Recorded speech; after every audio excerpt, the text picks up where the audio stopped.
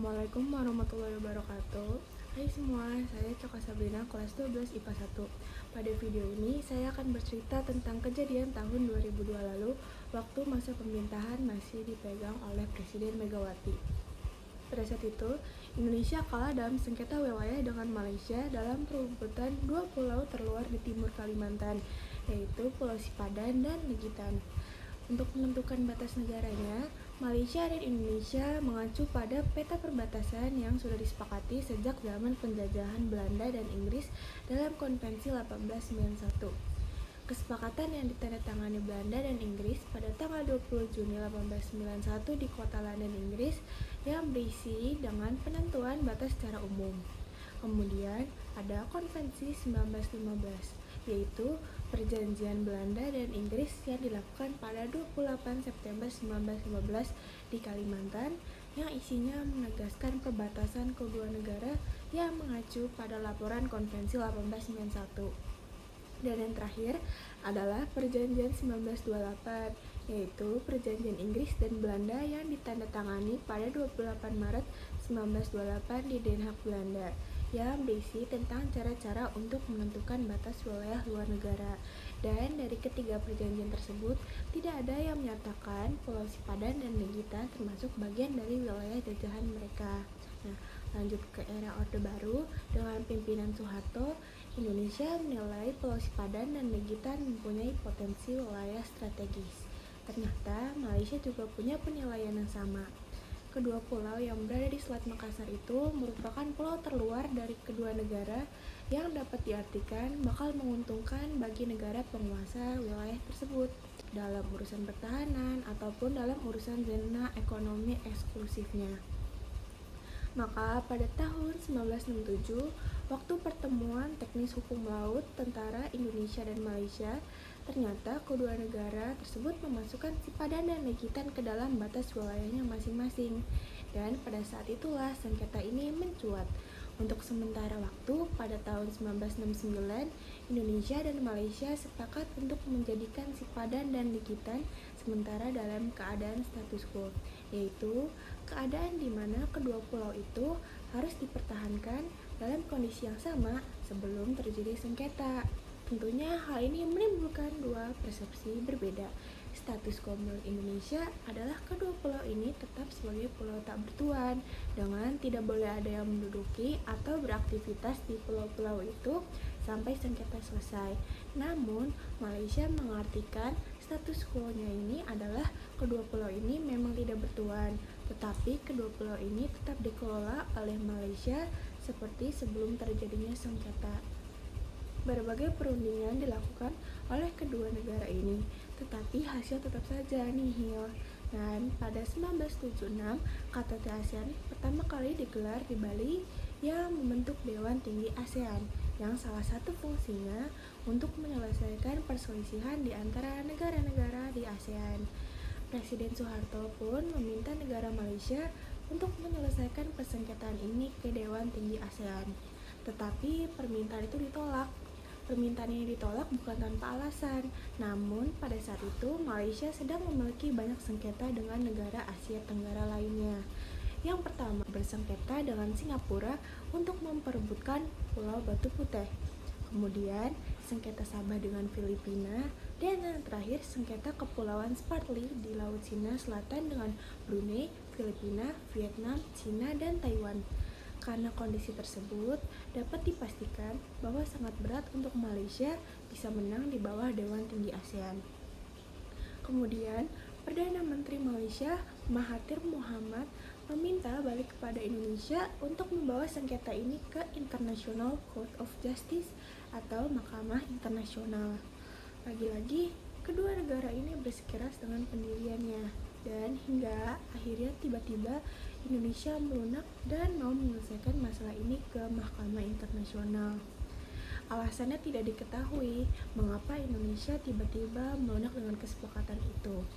Hal ini terjadi setelah Presiden Soeharto melakukan kunjungan ke negaraan ke Kuala Lumpur pada 7 Oktober 1996 dan akhirnya kesepakatan itu ditandatangani pada 31 Mei 1997 dengan syarat khusus yang disepakati kedua belah pihak yaitu keputusan yang bersifat final dan tetap di mana kedua negara harus menerima apa pun hasil keputusan internasional itu dan tidak boleh menggugatnya lagi.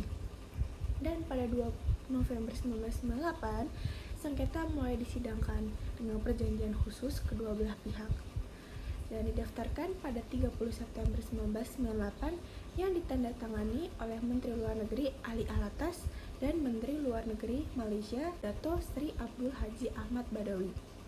Dan ICJ butuh waktu beberapa tahun untuk proses ini.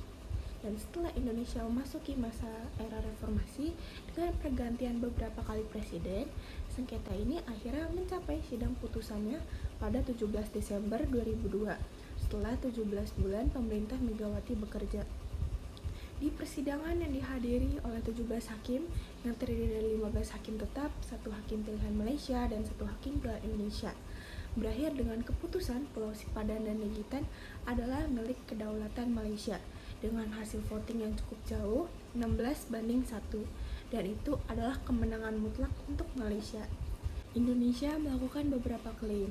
Yang pertama, kedaulatan Indonesia atas kedua pulau tersebut diperoleh berdasarkan Konvensi 20 Juni 1891 antara Inggris dan Belanda. Konvensi 1891 ini mengatur penetapan batas di Pulau Kalimantan antara Belanda dan negara-negara di Pulau Kalimantan yang berada di bawah protektorat Inggris Raya. Yang kedua, sekiranya mahkamah menolak klaim pertama Indonesia, maka Indonesia berhak atas kedua pulau tersebut atas dasar Indonesia sebagai pewaris dari Sultan Bulungan yang memiliki kekuasaan atas Pulau Legitan dan Pulau Sipadan.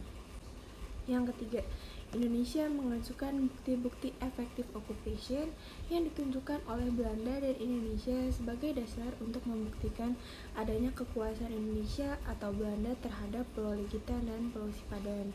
Bentuk-bentuk efektif occupation yang diajukan sebagai bukti oleh Indonesia adalah patroli Angkatan Laut Belanda pada tahun 1921 dan juga TNI Angkatan Laut sesudah Indonesia merdeka.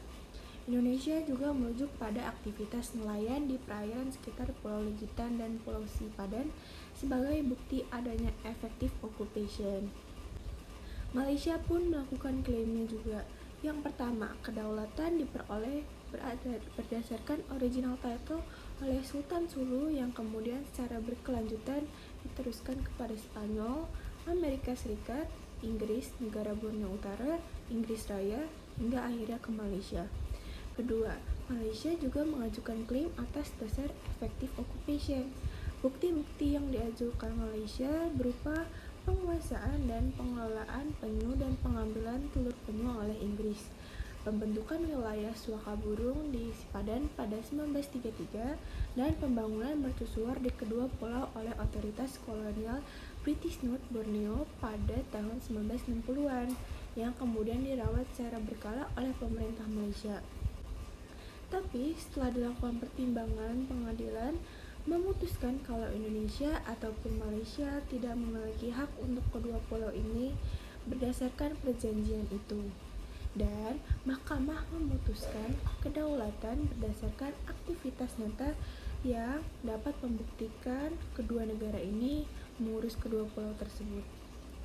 Dan dengan pengelolaan penyu dan pembangunan mercusuar oleh Malaysia dan pihak Indonesia tidak mengajukan protes pada itu, maka kedua pulau itu diputuskan untuk menjadi milik Malaysia.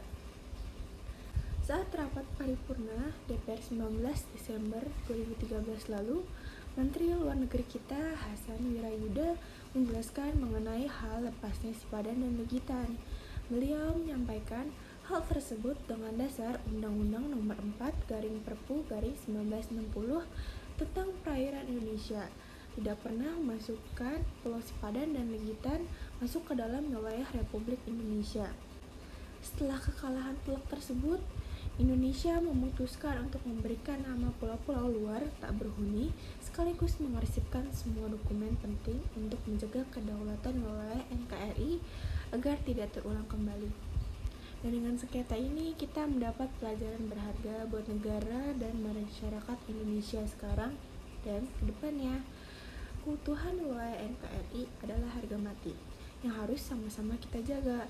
Kita juga harus menjaga daerah perbatasan serta mengenalkan dan mempromosikan supaya dunia tahu daerah-daerah kita dan tidak mencoba untuk merebutnya dari Indonesia. Sekian cerita yang dapat saya sampaikan. Kurang lebihnya mohon maaf. Wassalamualaikum warahmatullahi wabarakatuh.